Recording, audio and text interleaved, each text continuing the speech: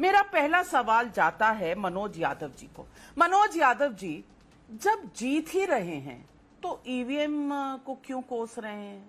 ये कांग्रेस पार्टी आपके साथ उतना कॉन्फिडेंस क्यों नहीं रख पा रही जितना अखिलेश जी को है? अखिलेश जी जो कह रहे हैं, एक थी बीजेपी ये भारतीय जनता पार्टी का, आगे से डेफिनेशन हो जाएगा। तो ये कांग्रेस पार्टी इतनी डरी क्यों हुई है? रोज ईवीएम का एक नया बहाना क्यों खड़ा कर देती है? क्योंकि मल्लिकार्जुन खड़गे ने जो सवाल पूछे थे इलेक्शन कमीशन से चीफ इलेक्शन कमिश्नर ने उनको जवाब दिया है, तीन एनेक्चर लगाए, उसमें सारे सवालों के जवाब है। फिर वही सवाल, फिर वही सवाल। हर चुनाव के चार दिन पहले सुप्रीम कोर्ट जाना। भाई ईवीएम हटा दो हंड्रेड परसेंट वीवीपैट कर दो। 2019 में भी यही माइंड गेम था। अब भी यही माइंड गेम है। ऐसा क्यों है? यादव जी?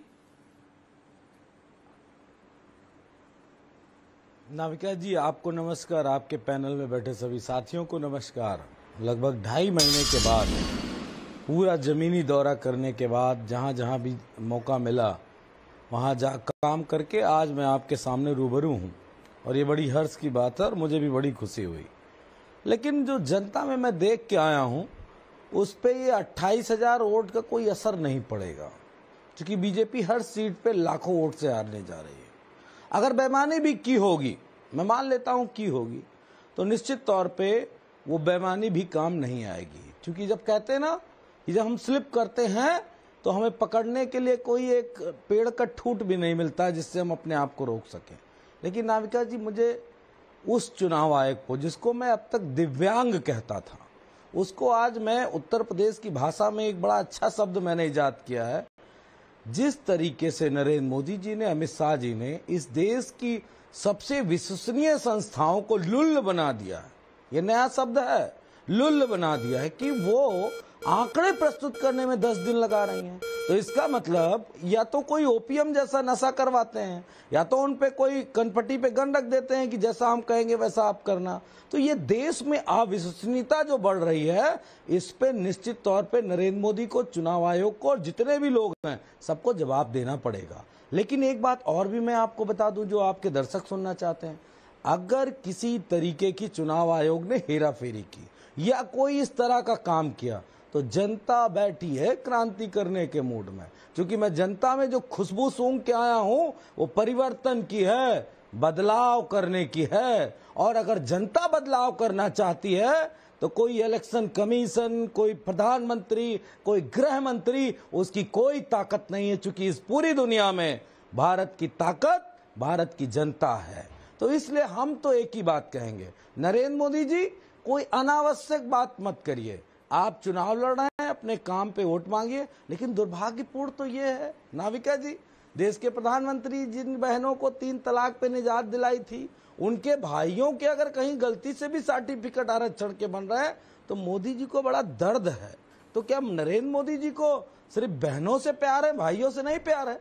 खैर, जितना भी इस देश के इतिहास में लिखा जाएगा और जब जब ईवीएम का ज़िक्र चलिए किन भाइयों से प्यार है किन बहनों से इस इस चर्चा पर लौट कर आती हूँ। तो लेकिन मनोज यादव जी संवैधानिक संस्थाओं के लिए जो आपके शब्द हैं आ, मुझे लगता है इन शब्दों पर पुनर्विचार करना चाहिए। और मैं ये भी पूछूँगी ये वोटर टर्नआउट का ऐप आपके पास है या नहीं? अगर आपके पास ये वोटर टर्नआउट का ऐप है तो इसमें आपको रियल टाइम में सारे अपडेट होने वाली चीज़ें दिख जाएँगी।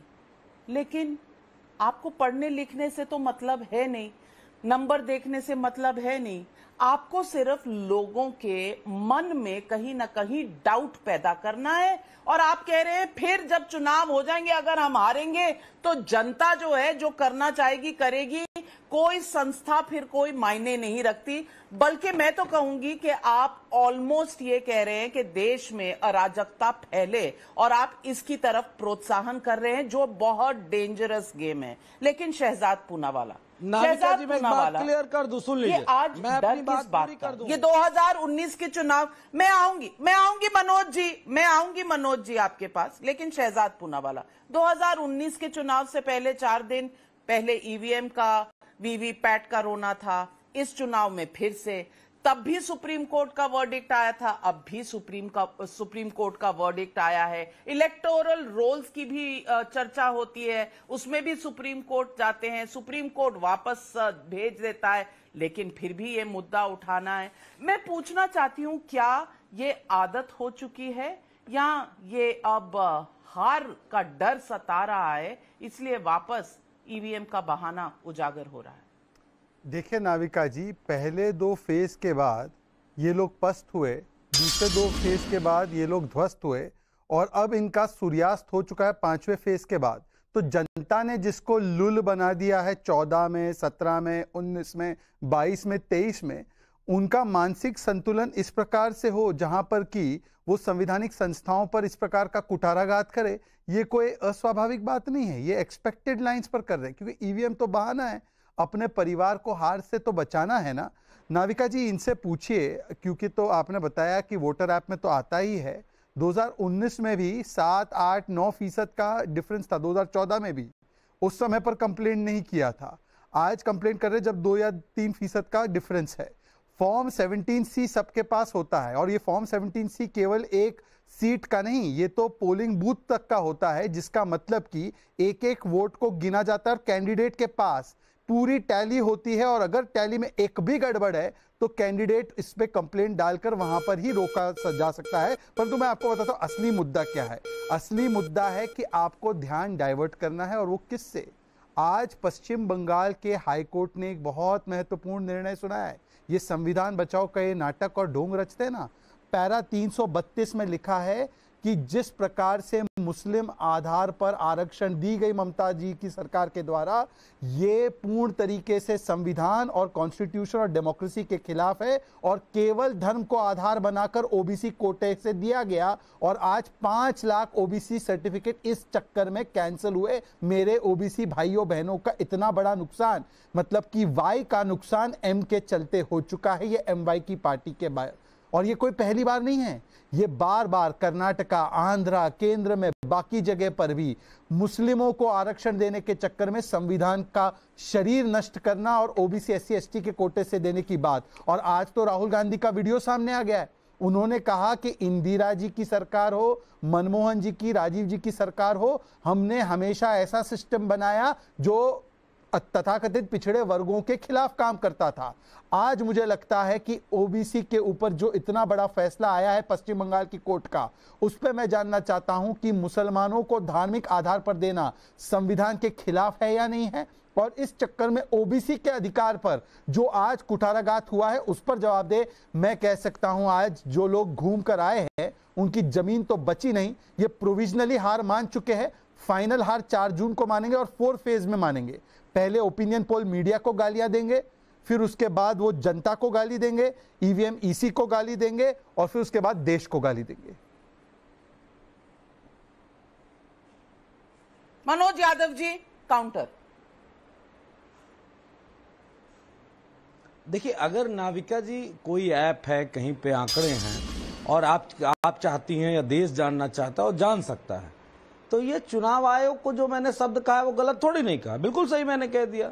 तो उसको ग्यारह दिन क्यों लग रहे भैया? या कोई नशा वसा कर देते हैं, जैसे उत्तर प्रदेश में नशे का चलन भी बहुत तगड़ा है। अब तो बोरे में पकड़ी जाने लगी है, वो पता नहीं क्या चिलम उलम टाइप का नशा होता है। तो चुनाव आयोग को कौन सी आपने बूटी सुंगा दी है? जो ग्यारह दिन लग जाते हैं। इस पे अगर हम सवाल उठा रहे हैं तो आप क्यों प्रोटेक्शन के लिए खड़े हो गए? चुनाव आयोग के आपके मामू का है क्या? जो आपको दर्द हो रहा है। आप भी चुनाव आयोग से कहो ना नाविका। क्यों ग्यारह दिन लगवा दिए भाई? क्यों लगवा दिए? अपने मामू के प्रोटेक्शन में आप खड़े हो नाविका। ये बात भी तो जनता जानना चाहती है। हमें आपत्ति है। आपको क्यों नहीं आपत्ति है? क्या कोई खालू वाला भी रिश्ता है क्या? अगर शहजाद पुनावाला जी आप जवाब देने असक्षम है तो नाविका क्या कहूँ? मेरे पास समझ नहीं आया नाविका मुझे जवाब देने दीजिए। ये किस तरह की भाषा और ये क्या आरोप है? मामू है खालू है। मुझे नहीं पता कि इस तरह की भाषा कभी किसी ने इस्तेमाल की हो चुनाव आयोग की तरह लेकिन लेकिन मैं सिर्फ़ इतना कहती हूँ कि ये कोई भी ऐप नहीं है ये ऐप एक संवैधानिक संस्था ने लगाई है। आपको मोदी पर विश्वास नहीं है आपको संस्थाओं पर विश्वास नहीं है आपको ईवीएम पर विश्वास नहीं है आपको तो किसी चीज़ पर विश्वास नहीं है तो किसी चीज़ पर विश्वास नहीं होगा। तो सिस्टम चलेगा कैसे ये मैं नहीं जानती। लेकिन लेकिन मैं आ रही हूँ शहजाद जी बिल्कुल आ रही हूँ आपके पास। लेकिन पहले तहसीन पूनावाला जी से पूछना चाहती हूँ। तहसीन पूनावाला जी बस दो सवाल है मेरे। यदि आप उनको मेरे मामू और खालू पर जाने का अधिकार देती हैं। और मेरी बात okay Shahzad Shahzad ji okay counter हम क्यों शो में? Navika okay counter counter Manoj ji Manoj ji शांत। नाविका उन्होंने व्यक्तिगत टिप्पणी की है मुझे उम्मीद है। कि अगर ऐसी व्यक्तिगत टिप्पणी आप स्वीकारती नहीं है तो मुझे बोलने का मौका देंगी। धन्यवाद आपका। नाविका अरे बिल्कुल शहजाद जी जवाब दीजिए। नाविका अब मैं आपसे चाहूँगा कि मेरी बात को आने दिया जाए ना कि बीच में हस्तक्षेप हो। नाविका जिन लोगों ने देश को मुख्यमंत्री पद को और पार्टी के अध्यक्षता के पद को अपने बाप की जागीर समझ के रखा हो उनको लगता है संविधानिक संस्था जो देश की संस्था है उसके बचाव में बोलना मतलब अपने मामू और खालू के लिए बोलना। क्योंकि आप लोग अपने चाचा और भतीजे के आगे देख नहीं पाते इसलिए देश की संस्था देश की सेना देश के राम मंदिर पर आप लोग कुठारा गात देखो, करते हैं। क्योंकि तुम्हारे बाप की और तुम्हारी सैयद की और तुम्हारे चाचा की और तुम्हारे भतीजे के अलावा कर रहे तुम्हारी हो। में लगातार बचा जाए रहे हो परिवारवाद का। इसीलिए अपनी हैसियत में रहो और मनोज यादव ये बताओ कि मुसलमानों को छीन कर जो दिया है यादव समाज का उस पर बोलने की तुम्हारी हैसियत है। तुम्हारे मामू का दिया है क्या मुसलमानों को? तुम्हारी खालू का दिया है क्या मुसलमानों को? अरे बताओ मनोज यादव तुम्हारी औकात हो तो मामू और खालू का छीन कर मुसलमानों को दिया है। और नाविका इस प्रकार की तो व्यक्तिगत टिप्पणी यदि नवभारत के पंच पर अगर ये व्यक्ति हर प्रवक्ता के लिए और हर पार्टी के लिए करेगा तो करते आइंदा से आप इनसे डिबेट कीजिए। आप भारतीय जनता पार्टी को मत बुलाइए आप क्यों इस प्रकार की टिप्पणी स्वीकार्य है क्या? क्या इसके बाप का आरक्षण छीन के दिया था क्या मुसलमानों को?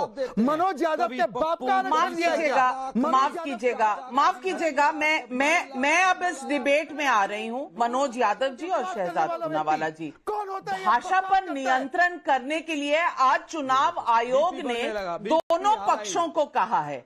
दोनों पक्षों को कहा है कि अपनी नहीं, मनोज यादव के बाप का आरक्षण है क्या? क्योंकि देश का देश का फैब्रिक आप सोशल फैब्रिक खराब नहीं करें ये ये हम तो रिक्वेस्ट ही कर सकते हैं हम तो रिक्वेस्ट ही कर सकते हैं।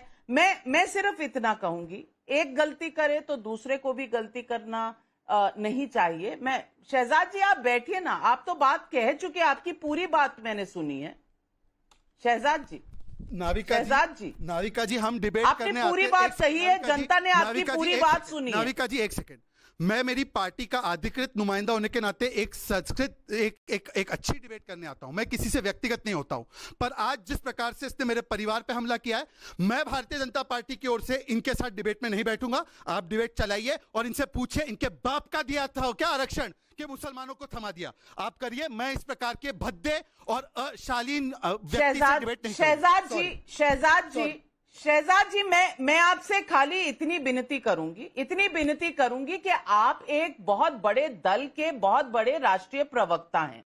और आप सबका दिल जीतने के लिए और आप सक्षम भी हैं और और आप बोलने की काबिल भी हैं इसके है? लिए। ये मामू खालू को लाने की आवश्यकता क्या है? मैं तो कह रही हूँ कि ये बिल्कुल सही नहीं है। माफ़ी मंगवाइए मैं बिल्कुल कह रही हूँ ये सही नहीं है। मैं बिल्कुल मैं बिल्कुल आपत्ति जता चुकी हूँ इस पर और इसीलिए मैंने आपको बोलने का बोलने का मौका भी दिया मनोज यादव जी। मनोज यादव जी आप इतने दिनों के मतलब बाद लौट कर आए हैं मैं ये कौन है? नहीं मनोज यादव जी मुझे लगता है मुझे लगता है हमें एक सीमा में रहना चाहिए। तो हमें एक सीमा में रहना चाहिए और ये तो सीमा मुझे। हम सबके लिए सही है। हम तो सबके लिए सही है।